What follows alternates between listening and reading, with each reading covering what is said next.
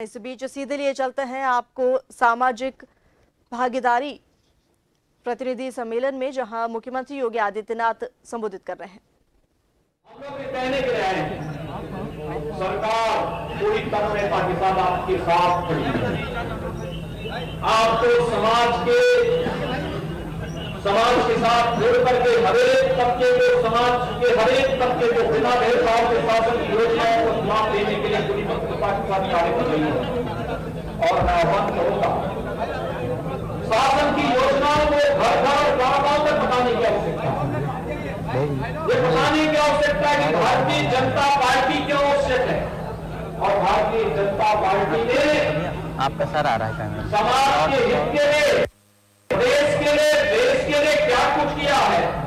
Corona कालखंड में हरेक व्यक्ति के जीवन को बचाने की कार्रवाइयों उस मॉडल खड़े किए हैं भारतीय जनता पार्टी सरकार ने।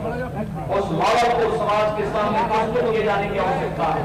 आज के इस अवसर पर हम लोग इस सामाजिक प्रतिनिधि सम्मेलन में पटिक समाज के साथ यहाँ पे बातचीत कर रहे हैं।